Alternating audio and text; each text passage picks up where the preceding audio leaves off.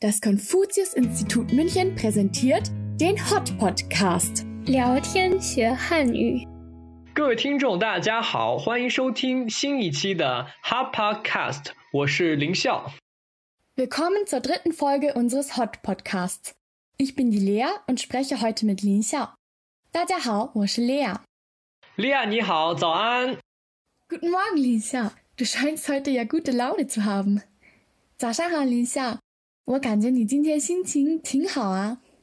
对啊，可能是因为我吃了一顿丰盛的早餐吧。Xiao ist heute Morgen wohl besonders gut drauf, weil er ausgiebig gefrühstückt hat.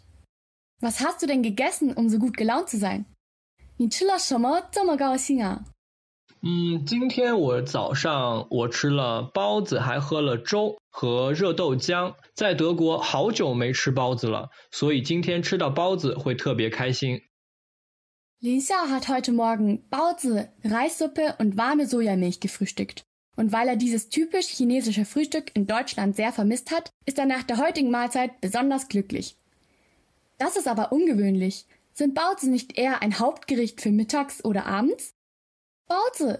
我以为只有午餐或者晚餐才会吃包子呢。其实包子作为一种美食，在一日三餐中都很常见。 中国人不仅午餐或者晚餐吃包子，早餐也经常吃包子。 Ah, also werden in China die gedämpften, gefüllten Teigtaschen sowohl zu allen drei Hauptmahlzeiten als auch zwischendurch als Imbiss gegessen. Ganz schön vielseitig.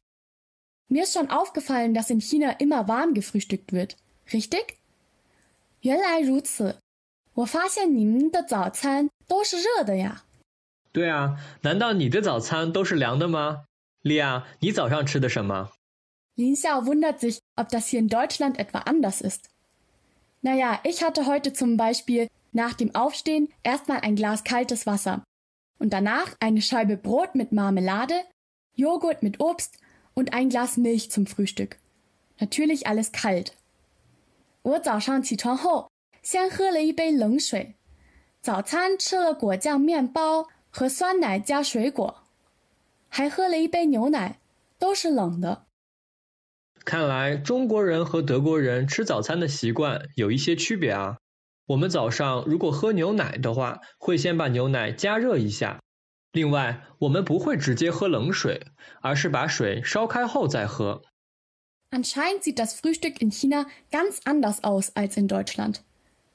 Dort hätte man zum Beispiel das Glas Milch erstmal aufgewärmt. Außerdem trinken die meisten Menschen aus China auch kein kaltes, sondern abgekochtes heißes Wasser. Das Frühstück unterscheidet sich in Deutschland oft stark vom Mittag- oder Abendessen. Das ist in China wohl nicht so. Was wird dort denn noch so gefrühstückt?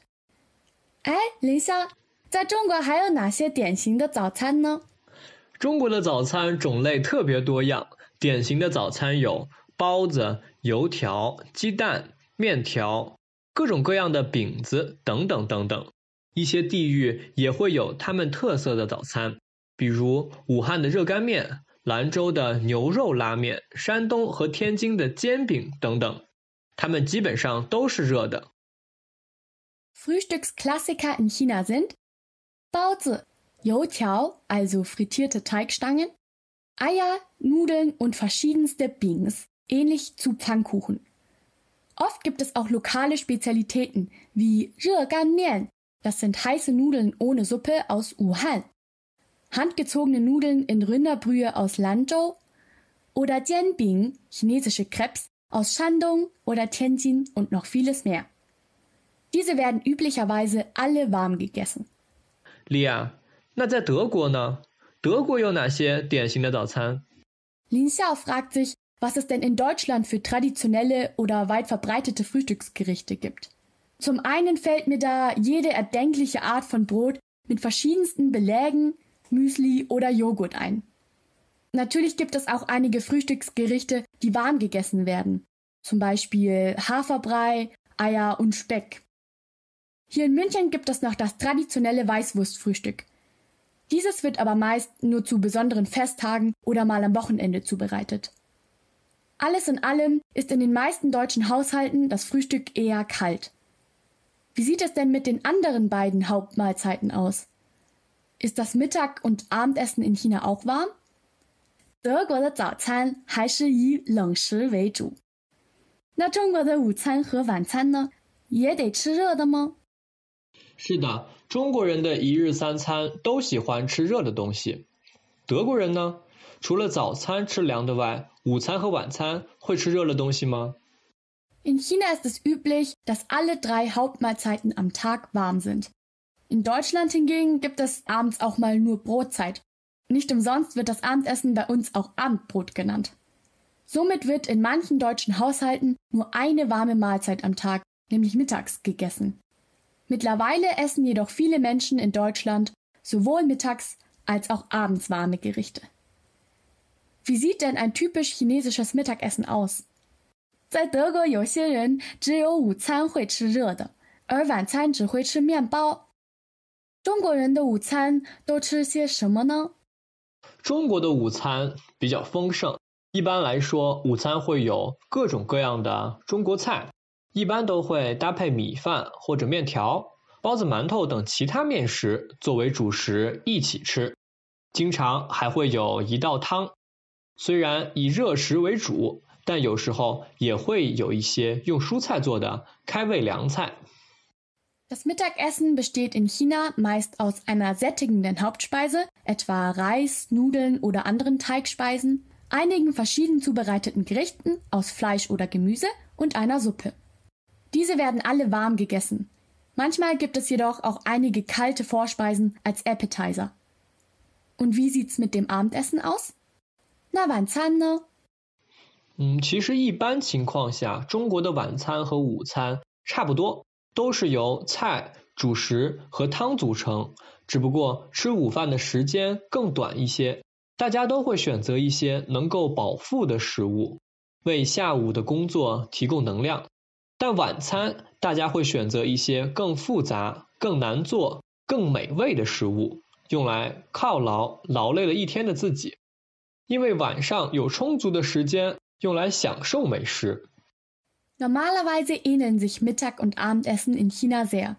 Sie bestehen beide aus denselben Elementen, einer sättigenden Hauptspeise, mehreren Gerichten und einer Suppe. Der einzige Unterschied ist oftmals die Atmosphäre beim Essen. Während die meisten Menschen in China mittags nur eine schnelle, kräftigende Mahlzeit zu sich nehmen, um ausreichend Energie für den restlichen Arbeitstag zu haben, wird sich abends mehr Zeit genommen, um ausgiebiger und ausgelassener zu essen. Oft werden abends auch komplexere Delikatessen zubereitet, da kein Zeitdruck besteht. 但这并不意味着我们晚上会吃很多。中国有一种非常流行的说法，叫做早餐要吃好，午餐要吃饱，晚餐要吃少。意思是人体一天消耗的能量主要来源于早餐， 所以早餐要吃一些营养价值高的食物。午餐要多吃，这样下午工作学习才会有力气。晚餐要少吃一点儿，不能让夜间的肠胃消化有过多的负担。Das bedeutet jedoch nicht, dass abends von der Menge her bedeutend mehr gegessen wird. Eine chinesische Redewendung besagt, iss morgens gut, mittags sättigend und abends wenig. Dieser Satz ist vergleichbar mit dem deutschen Spruch morgens wie ein Kaiser, mittags wie ein König, abends wie ein Bettler. Der Unterschied zur deutschen Version dieser Lebensweisheit ist, dass sich die chinesische nicht nur auf den Umfang der Mahlzeit bezieht. So soll morgens vor allem darauf geachtet werden, eine ausgewogene Mahlzeit mit hohem Nährwert zu sich zu nehmen, um gestärkt in den neuen Tag starten zu können. Mittags soll man etwas Sättigendes essen, um genug Energie für den anstrengenden Nachmittag in der Schule, Uni oder Arbeit zu haben und abends dafür eine kleinere Mahlzeit essen, damit die Verdauung während des Schlafs den Körper nicht zu sehr belastet. 看来不同国家的饮食习惯差别也不小呢。不过随着时代的发展，各国的饮食文化有了一些交融。在德国也可以吃到来自中国的东西。通过互联网， 人们可以学习到世界各地食物的做法。